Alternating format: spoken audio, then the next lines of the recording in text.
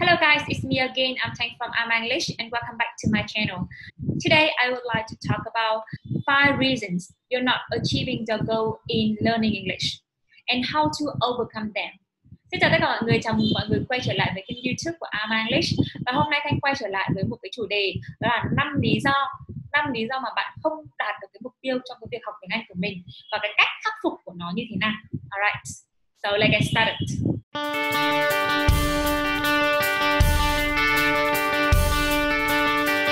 So, the first reason is they are too vague. Cái lý do đầu tiên là gì ạ? Vậy thì cái lý do đầu tiên đó chính là cái mục tiêu của bạn nó quá là mơ hồ. Mục tiêu của bạn là quá là mơ hồ. Rất nhiều người đặt cái mục tiêu mà nó không thể xác định được. Ví dụ bạn đặt mục tiêu là tôi muốn giao tiếp thành thạo tiếng Anh.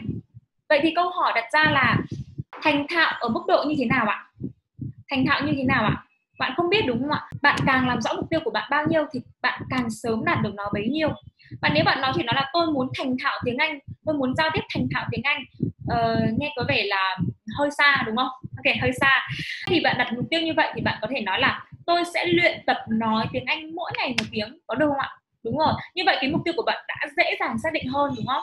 Một cái mục tiêu rõ ràng rất là hữu ích thì nó sẽ giúp cho các bạn xác định được là uh, bạn muốn làm gì và bạn sẽ dễ dàng thực hiện được nó. Và khi các bạn đặt mục tiêu như vậy, thì mục tiêu của bạn sẽ dần dần chuyển từ cái mục tiêu mơ hồ, tức là việc bạn muốn làm, sang một cái mục tiêu cụ thể, tức là việc bạn sẽ làm ok vậy thì hãy xem lại xem cái mục tiêu của bạn đã uh, rõ ràng hay chưa? Vậy thì thanh chốt lại cho mọi người ha. Khi mọi người đặt một mục tiêu học tiếng anh thì các bạn hãy làm rõ cái mục tiêu đó ra. Càng rõ càng cụ thể bao nhiêu thì các bạn càng dễ dàng đạt được nó bấy nhiêu. Reason number two is you are not quantifying them.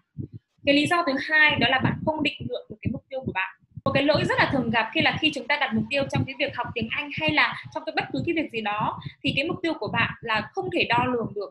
Ừ. bạn không thể kiểm tra được là bạn đang ở cái mức độ nào ở trong cái mục tiêu đó. Bạn đang ở cái cái cái cái, đã gần đạt được cái mục tiêu đó hay chưa? Vậy thì câu hỏi đặt ra đó là bạn có thể đánh giá hay là bạn có thể đo lường được cái tiến độ để thực hiện cái mục tiêu đó hay không? Và nếu mà không thì bạn nên xem lại cái mục tiêu của mình. Hay lấy ví dụ là các bạn có phải thường đặt mục tiêu là mục tiêu của tôi là trong năm nay phải nói tiếng Anh một cách trôi chảy được không? Đúng không ạ? Vậy thì câu hỏi đặt ra là như thế nào là trôi chảy ạ? Đúng không ạ? Thay vì các bạn đặt mục tiêu như vậy thì các bạn có thể đặt mục tiêu là à, trong năm nay thì tôi sẽ hoàn thành tôi sẽ nói tiếng Anh một cách trôi chảy ở trong trình độ A1 trình độ A1 là gì? Là dành cho người beginner là dành, dành cho người mới bắt đầu.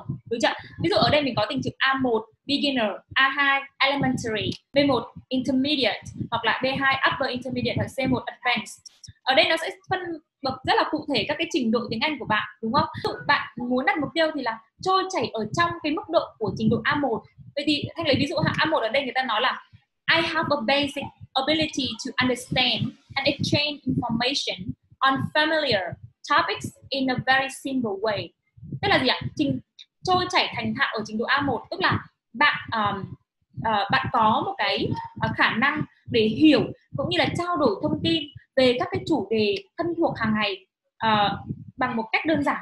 Đó thì đó là cái sự thành thạo trong trình độ A1 còn nếu mà các bạn chỉ nói là mục tiêu của tôi muốn mục tiêu của tôi là nói tiếng Anh thành thạo thôi thì nó rất là khó. Như thế nào gọi là thành thạo? Đúng không ạ? Và khi mà bạn đã có một cái và khi bạn đã, đã định lượng được cái gọi là có một cái lộ trình có một cái định lượng cái thước đo uh, là mình đang đạt đến cái mức độ như thế nào thì bạn sẽ sẽ um, uh, sẽ có động lực bạn sẽ có động lực và bạn sẽ gần hơn với cái mục tiêu của bạn. Bạn biết là bạn đang ở cái cái cái thang bậc nào đúng không ạ? Reason number three you are setting unattainable goals. Bạn đang đặt một cái mục tiêu gọi là quá cao so với khả năng của bạn à, dĩ nhiên cái việc đặt mục tiêu thì rất là thú vị đúng không ạ? Ví dụ là bạn là một người mới bắt đầu học tiếng anh mà bạn lại đặt mục tiêu là tôi có thể xem phim uh, phim nước ngoài mà không cần sắp hay là tôi có thể uh, hiểu được một trăm phần trăm những gì mà người nước ngoài nói. Cái điều đấy là điều không thể đúng không ạ? Đúng không ạ? Bạn đang là một người beginner là một người bắt đầu mới học tiếng anh giao tiếp mà bạn muốn là xem phim mà không cần sắp hay là uh, muốn muốn uh, nghe nhạc hoặc là nghe người khác nói mà hiểu một trăm phần trăm cái điều đấy không thể đó bạn đặt mục tiêu quá cao thì bạn sẽ không thể đạt được nó. Và dẫn đến làm bạn sẽ cảm thấy thất vọng vì bạn sẽ cảm thấy thất vọng vì bản thân mình và dẫn đến là chán nản và không muốn làm nữa không muốn thực hiện nó nữa. Vậy thì cách tốt nhất để giải quyết vấn đề này đó là bạn hãy đặt một cái mục tiêu mà trong cái tầm với của bạn được chưa? Vậy thì đối với việc học uh, tiếng Anh hả? Uh, chúng ta sẽ nhìn vào cái bảng ờ, uh, CEFR tức là bảng uh, năng lực ngôn ngữ tổng quát ở đây. Thì chúng ta phải định hình được là chúng ta đang ở level nào đúng không? Ví dụ các bạn ở, ở beginner đi chẳng hạn các bạn là ở trình độ beginner là A1 uh, A1 là trình độ beginner. À, thì bạn nên đặt mục tiêu chỉ nên đặt mục tiêu là đến trình độ A2 là elementary thôi hoặc là cùng lắm là đến đến trình độ B1 là immediate đúng không ạ? Chứ chúng ta không nên đặt mục tiêu là từ beginner mà lên một phát đến advanced. À, ví dụ à, uh, đang giao tiếp cơ bản bình thường uh, có thể hiểu được các cái trao đổi được cái thông tin cơ bản. Ờ, trong những cái chủ đề cơ bản thì bạn có thể là lên một cái trình độ A2 là có thể hiểu được uh, các cái thông tin cơ bản trong cái đoạn text hoặc là đoạn audio uh, hoặc là video quen khi mà nói về các cái topic uh, thân quen đối với mình đúng không ạ? Và khi mà chúng ta đã đạt được cái mục tiêu đó rồi từ uh, A1 lên A2 rồi thì chúng ta sẽ uh, sau khi đó chúng ta mới tính tiếp đến uh, những cái bước tiếp theo những cái mục tiêu tiếp theo và chúng ta sẽ thực hiện thực hiện cho đến khi mà gọi là chúng ta thành thạo mà ờ, đến phần advanced và chúng ta luyện tập thêm để nó có thể khi mà mình nghe mình uh, mình xem phim mà mình không cần sắp kiểu như vậy. The reason number four you set goals that are irrelevant to your life. Bạn đang thiết lập một cái mục tiêu mà nó không liên quan đến cuộc sống của bạn cả. Uh, bạn uh, học tiếng Anh bạn uh, trong làm trong lĩnh vực y tế mà bạn lại thiết lập mục tiêu là bạn sẽ có thể giỏi việc uh, giao tiếp thành thạo tiếng Anh về du lịch để vì bạn muốn đi du lịch nhiều hơn hoặc là về uh, trong ngành kinh tế bởi vì bạn thấy cái, cái thằng kia nó nói tiếng Anh ở trong kinh tế nó nói hay quá. Thực ra là cái việc mà uh, đạt được cái mục tiêu đó thì cũng rất là vui đúng không ạ? Cũng rất là vui thôi. Thì tuy nhiên là uh, bạn sẽ nó sẽ không giúp ích gì cho bạn ở quá trình đường dài. Bởi vì như chúng ta biết tiếng Anh nó chỉ là một ngôn ngữ và nó sẽ là công cụ để chúng ta có thể giao tiếp hoặc là uh, học hỏi những điều mới hơn hoặc là phục vụ cho cái mục trong cái công việc của chúng ta mà thôi. Chính vì vậy uh, nếu bạn bạn làm ngành y tế mà bạn lại học tiếng Anh du lịch hoặc là học tiếng Anh về kinh tế thì liệu là có cần thiết hay không ạ? Không đúng không? Bởi vì kể cả bạn đạt được ở trong một thời gian nhất định nhưng mà về sau bạn không sử dụng nó thì nó cũng sẽ rơi rớt và nó sẽ quên đi. Thực ra nó không phục cho mục đích của đường dài của bạn cho mục tiêu đường dài của bạn.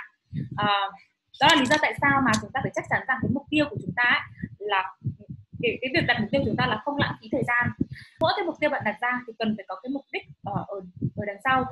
Để để giúp cho bạn có thể đặt cái mục tiêu làm sao mà nó uh, nó liên quan đến cuộc sống của bạn đến công việc của bạn và đến cái mục đích đường dài của bạn. And the reason number five you are not adding a time frame requirement. Bạn không đặt ra thời hạn cho cái mục tiêu của bạn. Vì cái việc đặt uh, deadline cho cái mục tiêu của bạn là vô cùng cần thiết và quan trọng. Uh, khi mà bạn đặt một cái deadline cho cái mục tiêu của bạn á, thì bạn sẽ có nhiều động lực để làm hơn. Và nó sẽ thúc đẩy bạn là bạn phải hoàn thành cái cái mục tiêu đấy sớm hơn cái cái cái thời hạn cho phép. Đó là cái cái tinh thần thúc đẩy của mình. Ví dụ thêm và nói là tôi muốn giao tiếp thành thạo tiếng Anh ở trình độ A1 là beginners đúng không? Thành thạo tiếng Anh cho ở trình độ A1 là beginners. Vậy thì uh, vậy thì bao giờ bạn mới hoàn thành nó? Không bao giờ. Và nếu mà bạn đặt mục tiêu như vậy thì bạn sẽ uh, cứ học rồi bỏ học rồi bỏ học rồi bỏ rất rất nhiều lần uh, và không đạt được mục tiêu. Chính vì vậy chúng ta sẽ nên đặt là tôi sẽ giao tiếp thành thạo tiếng Anh trong trình độ A1 trong vòng 3 tháng đúng không? Nó rõ ràng hơn nó cho bạn một cái kế hoạch một cái uh, một cái deadline để các bạn có thể nỗ lực nỗ lực để đạt được nó đúng không ạ? Khi đặt mục tiêu như vậy bạn sẽ có động lực và để đạt được và theo đuổi nó.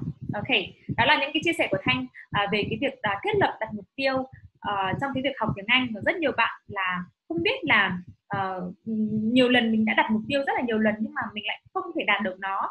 Thì đấy là những cái lý do mà thanh đưa ra năm lý do. Và các bạn thử xem xét xem từng cái lý do các bạn đang ở mắc ở cái lý do nào ở nguyên nhân nào. Và chúng ta sẽ khắc phục cái nguyên nhân đấy cho hiệu quả. right? Okay, so that's it for today. Thank you for watching my video and see you next time. Bye.